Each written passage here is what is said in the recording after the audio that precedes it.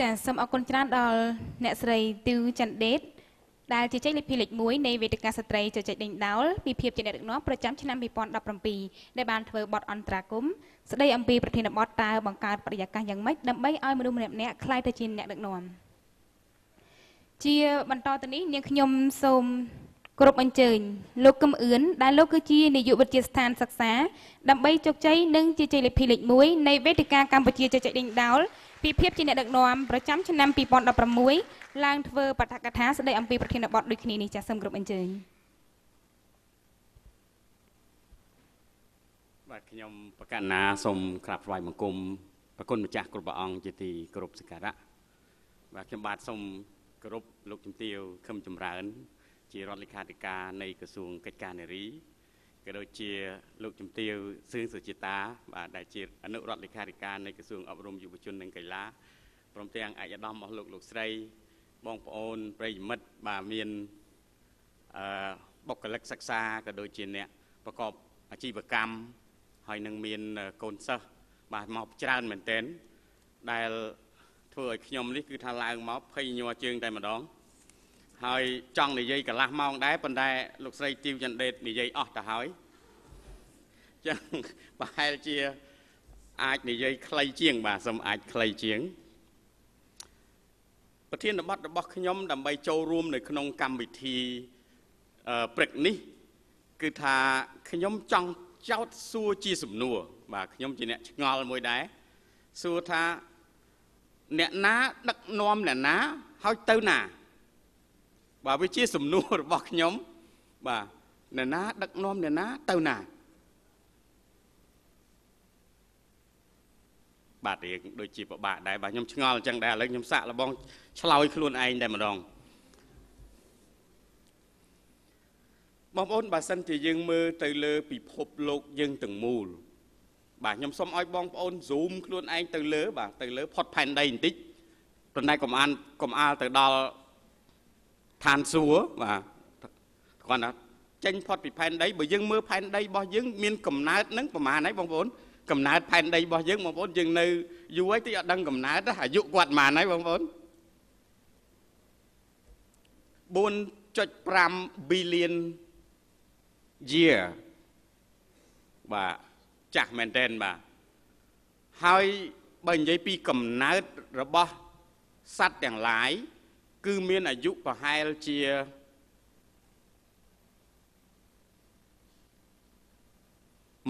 3លាន sorry 3.8 billion បាទមានកំណើតមកខ្លះខ្លះហើយប៉ុន្តែកំណើតមនុស្សយើងតែម្ដង គឺមានប្រហែលទឹមតែចិត្ត200លានឆ្នាំមុនទេអូខេឥ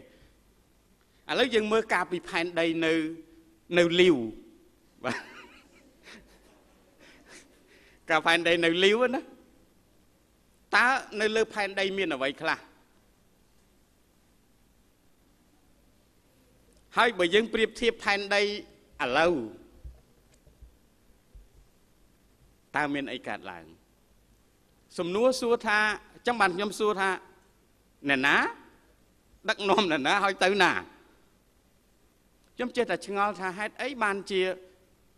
ដឹកនាំតាំងពីផែនដីនៅល្អរហូតចង់ខ្ទេចឥឡូវអ្នកដឹកនាំបែបម៉េចបាទសំណួរសួរថាអ្នកដឹកនាំបែបម៉េចណាវាជាសំណួរមួយឥឡូវយើងយើងទាញមកមើលអ្នកដឹកនាំវិញ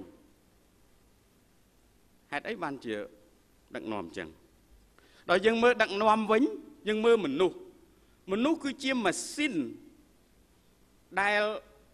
ស្មុកស្មាញជាងគេបង្អស់នៅលើโลกនេះអត់មានគ្រឿងចាក់ណាស្មុកស្មាញជាងមនុស្សទៀតទេ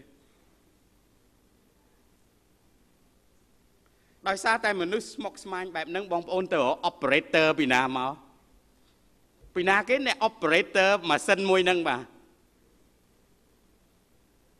គឺយើងទាំងអស់គ្នាមែនទេបាទហើយយើង operate មិនរាល់ថ្ងៃ operate មិនបានជា តាំងពីផែនដីនៅមូលថ្លុញឥឡូវតប៉ែតចង់ទៅជាតប៉ែតអស់ហើយបាទខ្លោចអស់ហើយដល់យើងមើលអ្នក operate គឺជាអ្នកដែល operate ចេះតែចុចបើពីលុតកប៉ាល់ហោះគាត់ដឹងត្រូវចុចចុចអាម៉េចឲ្យកប៉ាល់ហោះចុះកប៉ាល់ហោះឡើង operator មួយនេះមកនិយាយខ្លួនខ្ញុំអត់ចេះចុចវាស្មុកស្មាញពេក ចឹងបងប្អូនត្រូវតែជឿថាបើសិនជាបដ ாய் operator នេះឲ្យ operate ទៀតផែនដីឲ្យលាយតែម្ដងវាជាសំណួរដែលយើងទាំងអស់គ្នាត្រូវឆ្លើយបាទបងប្អូនរាល់ថ្ងៃមាន2ធំធំកាយមួយមួយទៀតអីគេបងប្អូនចិត្តបាទកាយមួយចិត្តមួយហើយយើង operator បងប្អូនបើសិនជាយើងប្រកាសជាចេះប្រើគ្រឿងចាក់នឹងមែនហេតុអីបានជាយើងបដោយខ្លួនយើងឲ្យចោះមកក្រោម យើងអាចថាឋានក្រោមហ្នឹងក្នុងមួយថ្ងៃមួយថ្ងៃប្រហែលដងបងប្អូនបងប្អូនឡើងឋានលើបានតិចណាស់នៅក្នុងមួយថ្ងៃរបស់យើងខ្ញុំគិតថាយើងកម្រនឹងមាននឹងបានសោយសុកចាប់ពីគេងរហូតដល់ស្មើនេះ បងប្អូននឹងបានទទួលខ្ញុំជឿថាអត់សូវអ្នកនៅលើប្រហែលនេះខ្ញុំសូមអធិស្ឋានបាទគឺមានអ្នកចុះក្រោមច្រើន រួមទាំងខ្ញុំបាទផងដែរ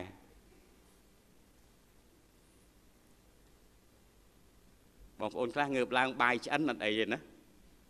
បាយអត់ឆ្អិនគឺមានរឿងមកតាមផ្លូវមានគេសផ្លេពីក្រោយមានបញ្ហាបើសិនជាបងប្អូនមិន ចេះបញ្ជាគ្រឿងយន្តឬក៏គ្រឿងយន្តមិនស្ដាប់យើងសួរថាតើយើងគួរធ្វើដូចម្ដេចគ្រឿងយន្តមួយនេះមិនស្ដាប់យើងទេបើស្ដាប់យើងមែនតាំងពីងើបពីគេងរហូតដល់ចូលគេងវិញ គឺយើងជំរើសរបស់យើង គឺនៅឋានសួគ៌រហូតមែនទេបងប្អូនបាទនៅលើរហូតខ្ញុំនិយាយបាក់ស្ដាប់ពេកហ្នឹងបងប្អូន គេថាសុក្រាតដោយសារតែប្រពន្ធកាចចង់បានคล้ายទៅជាសុក្រាតណាបាទคล้ายទៅជាអ្នកប្រាជ្ញខ្ញុំសូមជម្រាបថាប្រពន្ធខ្ញុំក៏មិនធម្មតាដែរ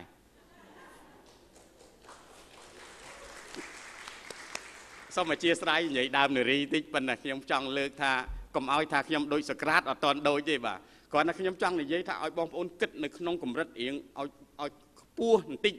ព្រោះដោយសារចន្ទដេតគាត់និយាយពីរឿងទុអាអារាល់ថ្ងៃនេះអស់ហើយចឹងខ្ញុំនិយាយរឿងខ្ពស់តិចដើម្បីឲ្យបងប្អូនពិចារណាទៅលើទស្សនវិជ្ជាមួយទៀតបងប្អូនម៉ាស៊ីនបងប្អូនបើមានឡានបើសិនជាបងប្អូនមានឡាន ហើយបងប្អូនចំណាយពេលកន្លះខែដាក់នៅក្នុងការ៉ាស់ហើយកន្លះខែជីបងប្អូនឡានហ្នឹងមិនដែរ ឡានហ្នឹងគឺដូចជាមិនអាចមិនយកមកជិះបានតែម្ដងចាឥឡូវយើងមើលយើងវិញ ចំណាយពេល8ទៅ10ម៉ោងដើម្បីសម្រាកហើយនឹងគេងពាក្យថាគេងមានន័យថាម៉េចបងប្អូនមានន័យថា repair ជួសជុលម៉ាស៊ីនមួយនេះត្រូវការពេលប្រហែលជា ជាង1ភាគ3បាទនៃពេលវេលា1ភាគ3ដើម្បីជួសជុលតើម៉ាស៊ីននឹងខ្លាំងអត់បងប្អូន ប្រហែលជាយើងអត់ទាន់ដឹងពីរបៀបប្រើម៉ាស៊ីនហ្នឹងឯងជាការផលិតអ្នកផលិតមកខ្ញុំមិនដឹងពីណាអ្នកផលិតដែរម៉ាស៊ីននេះជាម៉ាស៊ីនអស្ចារ្យប៉ុន្តែយើងទាំងអស់គ្នាអត់ដែលប្រើម៉ាស៊ីននេះឲ្យបានត្រឹមត្រូវនៅឡើយទេចង់ឲ្យបានខ្ញុំសួរថាពីណាគេអ្នកដឹកនាំពីណាចុះឥឡូវបើយើងគ្រាន់តែម៉ាស៊ីនខ្លួនឯងនេះយើងអត់អត់តន់ចេះប្រើផងហើយយើងទៅដឹកនាំទៅទៅបញ្ជា ទៅបញ្ជា wireless ដើម្បីដឹកនាំអ្នកដទៃយ៉ាងដូចម្ដេច បាទនេះគឺជាសំណួរ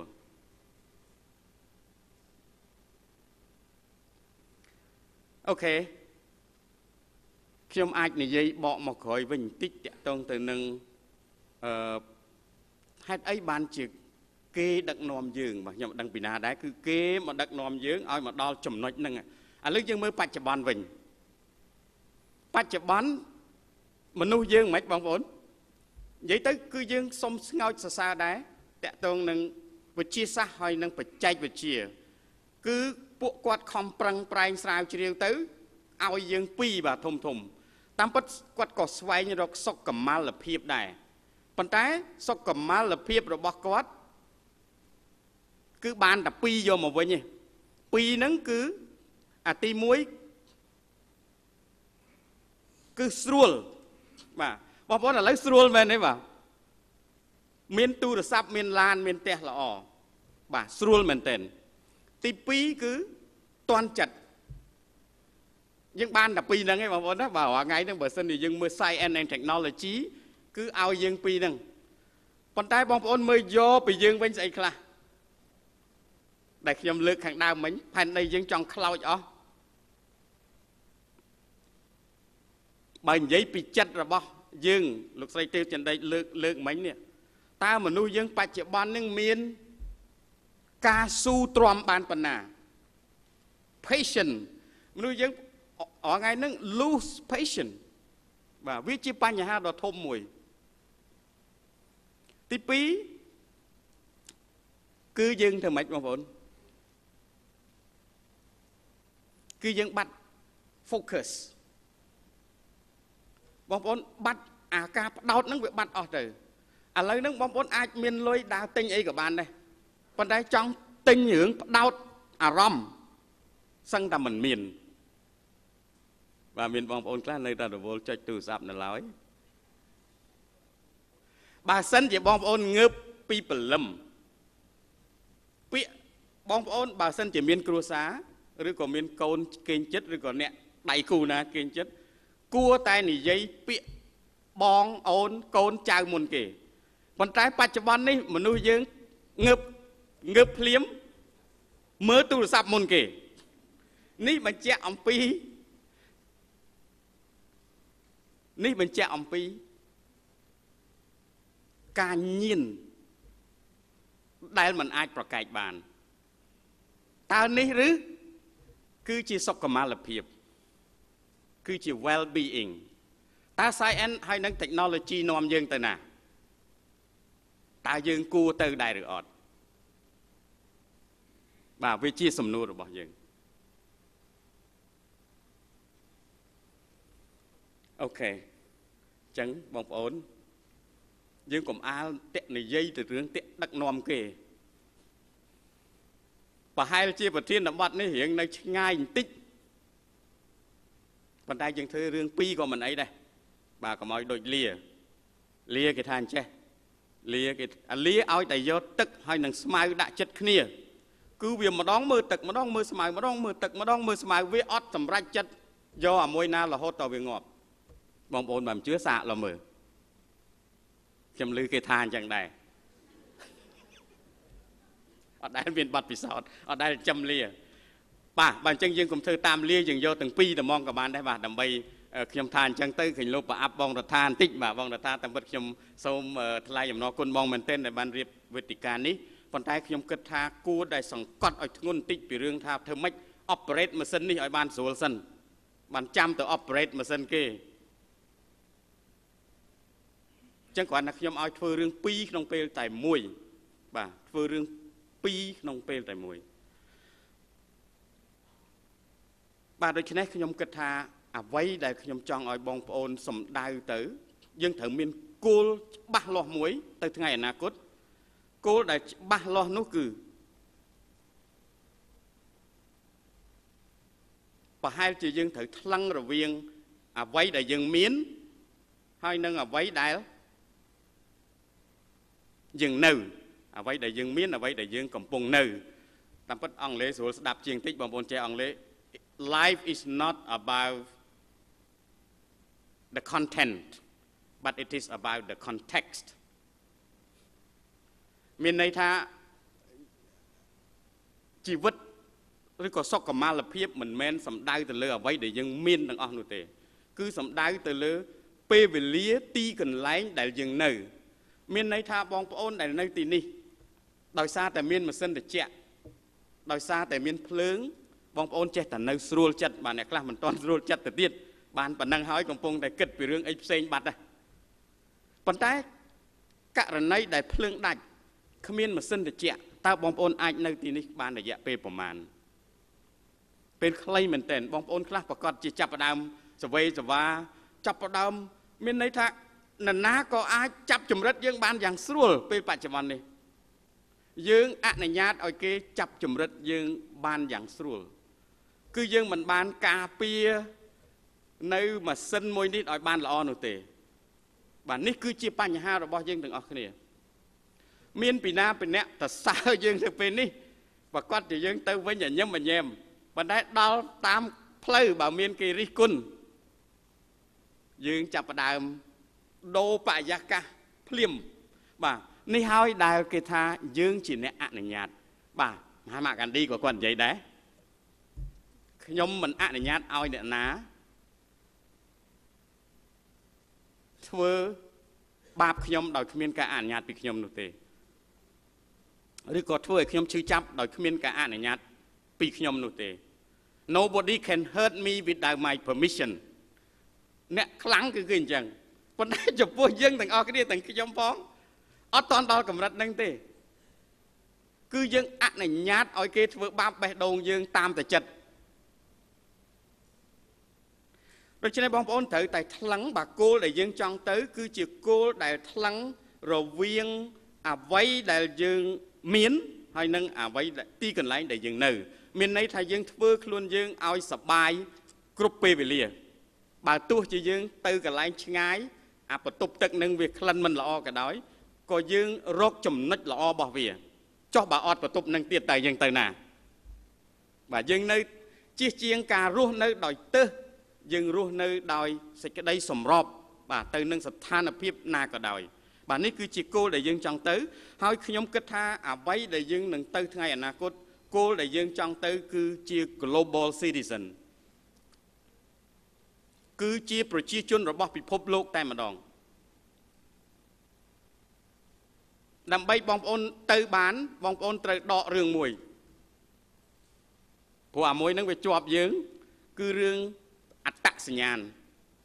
ជាការពិតទាំងអស់គ្នាមានអត្តសញ្ញាណគ្រាន់តែឲ្យស្រួលហៅបាទយើងឈ្មោះអឿនអញ្ចឹងទៅបាទមិនមែនអឿនហ្នឹងគេមិនមែនអឿននឹងខ្លាំងទេបាទគេស្ដីឲ្យក៏ស្ដីឲ្យខ្លះទៅអឿននឹងមានអីខ្លាំងប្រហែលអញ្ចឹងយើងតាមពិតយើងទាំងអស់គ្នានៅពេលដែលគេឲ្យអត្តសញ្ញាណគ្រាន់តែគ្រាន់តែចង់ឲ្យស្រួលស្ដាប់ ប៉ុន្តែយើងទាំងអស់គ្នាបែរជាយកអានឹងទៅជារបស់កម្មសិទ្ធិក្រាស់មែនទែនបងប្អូនយើងជាជនជាតិខ្មែរពីណាប៉ះខ្មែរមិនបានហ្មងយើងជាសាសនិកសាសនិកជន ពីណាប៉ះមិនបានតែម្ដងដូច្នេះការដែលយើងដាក់អត្តសញ្ញាណគ្រាន់តែស្រួលហៅវាបែរជាយើងតង់ជាប់ស្អិតពេកធ្វើឲ្យយើងបាត់នៅការបណ្ដោះខ្លួន យើងរាល់ថ្ងៃនេះគឺយើងចាញ់ដើមឈើទៅទៀតដើមឈើវាដោះអស់ពីសមត្ថភាព យើងរាល់ថ្ងៃនេះគេក្របត្រឹម identity ហ្នឹងហើយបាទត្រឹមប៉ុណ្ណឹងតាមពិតយើងនៅមានកន្លែង grow ច្រើនទៀតបាទកន្លែង grow ច្រើនទៀតបាទអញ្ចឹងខ្ញុំសូមឲ្យបងប្អូនយកអីជាគោលគឺយើងឈ្មោះទៅ global citizen ហើយមធ្យោបាយក្នុងការទៅ គឺខ្ញុំចង់ឲ្យបងប្អូនចាំចំណុច3 ទី1គឺ people បាទមាន 3P ទាំងអស់បាទ 3P ទី1 people បងប្អូន people គឺជាគន្លឹះគឺជាអ្នកដែលសំខាន់បំផុតបងប្អូនត្រូវ respect people គន្លឹះនៃកន្លែង people គឺ respect ខ្ញុំគិតថារឿងកន្លែងណាក៏ដោយ ដែលជាគម្របមិនឲ្យមនុស្សខ្លាចទៅជាអ្នកដឹកនាំបាន គឺជាការខ្វះ respect បាទបងប្អូនជប៉ុនគឺគេមានការគោរពគ្នាដោយសុចចិត្តខ្មែរយើងនៅពេលដែលយើងឃើញអ្នកដែលក្រោមយើង គឺយើងចាប់ផ្ដើមដំឡើងខ្លួនឃើញអ្នកដែលខ្ពស់យើងយើងចាប់ផ្ដើមដាក់ខ្លួន បាទតាមពិតពាក្យ respect គឺយើងតាល្មមបានហើយគ្រាន់តែ protocol យើងធ្វើមិនឲ្យខុសទៅបានណាប៉ុន្តែនៅបច្ចុប្បន្ននេះគឺយើងមានទៀបខ្ពស់បន្តិចខ្ពស់បន្តិចហើយខ្ពស់ខ្លាំងអីចឹងអញ្ចឹងខ្ញុំគិតថា respect គឺជាពាក្យកលឹះ ដើម្បីយើងយក people ជាគោលទី2គឺ planet បាទភពផែនដីយើងយកភពផែនដីជាគោល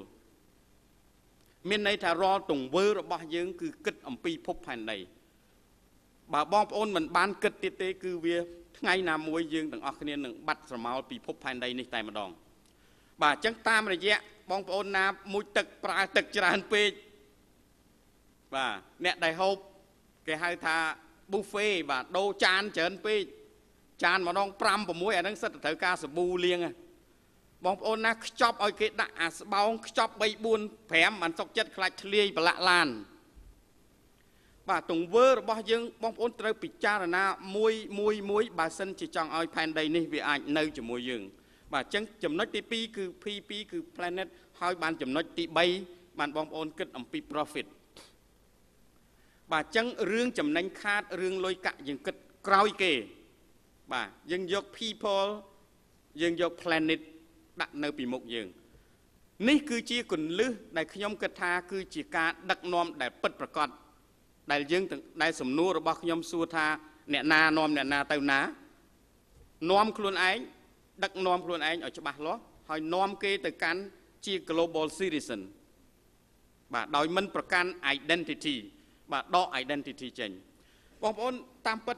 ម៉ាញរបស់យើងបាទចិត្តរបស់យើងយើងបើសិនជាយើងមើលទៅមានទៅដល់4ផ្នែកប៉ុន្តែបច្ចុប្បន្ននេះយើងមើលតែទៅលើមួយសំខាន់នេះតកតងទៅនឹងគេហៅថាកម្លាំងប្រាជ្ញាបើយើងផ្ដោតសំខាន់ទៅលើកម្លាំងប្រាជ្ញាប៉ុន្តែយើងមានអីទៀតបងប្អូនហេតុអីបានជាចំោះខ្ញុំនេះវាមិននៅតែនឹងប្រកាសជាដូនតាខ្ញុំនឹងជាប្រមាណ10ជំនាន់មក វានៅចាំអាចំោះធំហ្នឹងមកដល់បច្ចុប្បន្នវាវាមកដាក់ទៅនឹងអញ្ចឹងមានន័យថាមានអាកម្លាំងប្រាជ្ញា ខ្លាំងជាង brain ខ្លាំងជាងខួរក្បាលទៅទៀតដែលវាអាចចាំបានរាប់ឆ្នាំអា brain យើងនេះចាំបានតែដល់យើងនៅរស់ទេតាស្លាប់បាត់ហើយប៉ុន្តែមានអា cell មួយយ៉ាងដែលជា DNA វានៅរងចាំរហូតបាទវានៅរងចាំ ប៉ុន្តែមានអបញ្ញាមួយទៀតអាព្រឹកមិញយើងញ៉ាំកាហ្វេព្រឹកមិញយើងញ៉ាំនំប៉័ងនេះឥឡូវវាទៅជាយើងហើយបាទវាវាបដូរពីអានំប៉័ងពីអីវាទៅជាយើងនេះគឺជាកម្លាំងបញ្ញាដែលមនុស្សខ្លាំងជាងហ្នឹងហើយសូមបញ្ជាក់ថាយើងនៅទៀបមែនទែនបាទទាំងខ្ញុំទាំងអស់គ្នាដូច្នេះហើយការសិក្សាការបន្ទាបខ្លួន ដើម្បីរៀនសូត្រដែលអ្នកចិត្តខាង គឺជារឿងដែលសំខាន់មែនទែន បាទនៅក្នុងវេទិកានេះទោះបីជាបងប្អូនណាក៏ដោយដែលនិយាយគឺសុំយកចិត្តទុកដាក់ស្ដាប់100%បើអាចមានស្អីកត់ទៀតកាន់តែប្រសើរពីព្រោះយើងនៅខ្វះច្រើនណាស់ហើយអ្វីដែលវានៅគឺនៅក្នុងបងប្អូនម្នាក់ម្នាក់ប៉ុន្តែដោយឡែកនៅថ្ងៃនេះ3ថ្ងៃពេញខ្ញុំគិតថាបងប្អូនដែលទទួលបានចំណេះវិជ្ជានឹងគឺខ្លាំងណាស់ប៉ុន្តែគ្រាន់ថាអាខ្លះក៏ចាស់អាខ្លះក៏ថ្មី បាទអញ្ចឹងនៅក្នុងកម្រិតដែលខ្ញុំចង់ឲ្យបងប្អូនជើញជើញឈ្មោះទៅហ្នឹងគឺត្រូវជួសជុលជួសជុលឬក៏ធ្វើម៉េចដើម្បីអភិវឌ្ឍរបស់យើងនេះឲ្យខ្លាំងបាទជួសជុលខ្លួនយើងឲ្យខ្លាំងបាទដែលអាចយើងអាចគ្រប់គ្រងបានចំពោះនៅក្នុងកម្រិតកម្រិតជាអ្នកគណៈបុគ្គលវិញខ្ញុំចង់ឲ្យបងប្អូនទាំងអស់ខ្លាំង នៅក្នុងខ្លាំងនេះខ្ញុំសូមយកច្បិចតែនៅកន្លែងធ្វើការមួយបានណាបងប្អូនត្រូវបណ្ដោះម្នាក់ម្នាក់ឲ្យคลายទៅជា CIO បងប្អូនមិនអាចតន់ទៅជា CEO បានទេមែនទេបាទបងប្អូនមិនតន់អាចคลายទៅជា CEO បានប៉ុន្តែបងប្អូនអាចคลายទៅជា CIO គ្រប់ពេលវេលា Chief Inspiring Officer អ្នកដឹកនាំដែលកើតឡើង គឺកើតចេញពីមនុស្សដែល inspire អ្នកដែល inspire គឺជាអ្នកដែលដកតាកម្របចេញទុកឲ្យគេ grow ខ្ញុំអាចយល់មកចំនួនធំបាទខ្ញុំអាចឯកភាពទៅនឹងអ្វីដែលជាការអប់រំនៅតាមផ្ទះនៅតាមសាលានៅតាមកន្លែងផ្សេងផ្សេងដែលលោកស្រីទាវចន្ទដេតបានលើកឡើងប៉ុន្តែសម័យមើលបើសិនជាយើងមិនមានការអប់រំ ការប្រាប់រឿងមួយចំនួនទេយើងអាចខ្លាំងជាងហ្នឹងបងប្អូនណាខ្ញុំចង់និយាយនេះឲ្យបងប្អូនពិចារណាការអប់រំខ្លះធ្វើឲ្យយើងទឿទៅវិញទេប្រាប់ច្រើនពេកការប្រាប់ច្រើនពេកធ្វើឲ្យយើងទឿទៅវិញទេដូច្នេះបងប្អូនត្រូវកំណត់ខ្លះបាទអ្នកដែលដោះមែនតែនគឺគ្រាន់អ្វីដែលយើងមើលតាមធម្មជាតិគ្រាន់តែរៀបយើងគ្រាន់តែរៀបថ្នាលឲ្យតែស្រួលទៅ អាសតុងនឹងវានឹងដោះហើយតែយើងចេះតែញ៉ៃញ៉ៃញ៉ៃញ៉ៃវាពងតែដោះទៅជ្រោយចុះជ្រោយឡើងអានឹងងាប់បដ ாய் អានឹងខ្ញុំសូមឲ្យបងប្អូនមើលមកទស្សនវិជ្ជាទៀតមកទស្សនវិជ្ជាទី1គឺអប់រំចោះប៉ុន្តែកុំច្រើនពេកពីព្រោះក្មេងខ្លះវាកើតមកវាបញ្ញាជាងយើងទៀតហើយយើងប្រាប់វាថាហ្នឹងខុសទេបាទអញ្ចឹងបងប្អូនត្រូវកន្លែងហ្នឹងមួយទៀតដែលជាទស្សនវិជ្ជា2បាទដែលជាទស្សនវិជ្ជា2អញ្ចឹងអឺថាអត់មានអីនិយាយប៉ុន្តែឥឡូវនិយាយទៅច្រើនទៅច្រើនទៅខ្ញុំជាវាគ្មិនខ្ញុំថាបើគេមិនគាត់ទេនិយាយតតែងាប់បងប្អូនអត់អីសល់ប៉ុន្មានទៀតអស់ហើយណាអូនៅ5នាទីទៀតបាទអូបាទអរសូមអធិស្ឋានខ្ញុំនិយាយលេងដើម្បីឲ្យបងប្អូនសើចបន្តិចអឺដូច្នេះបងប្អូនយើងត្រូវប្រមូលមកវិញ ដើម្បីคลายជាអ្នកដឹកនាំខ្លួនឯងបងប្អូនត្រូវបោះចោលរឿង ដែល distraction មួយចំនួន distraction គឺជាការរំខាន ក្នុងជីវិតបងប្អូននេះតាមពិតបងប្អូន គឺជាមធ្យមភាគនៃមនុស្ស5នាក់ដែលនៅចិត្តជុំវិញបងប្អូន បងប្អូន គឺជាមធ្យមភាគនៃមនុស្ស5នាក់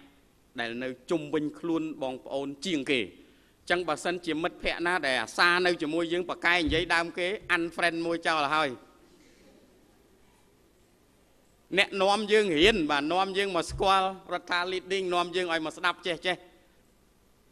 បាទរាប់អានរកពេលពេលបនពេលទៀនអីយកអីទៅជូនគាត់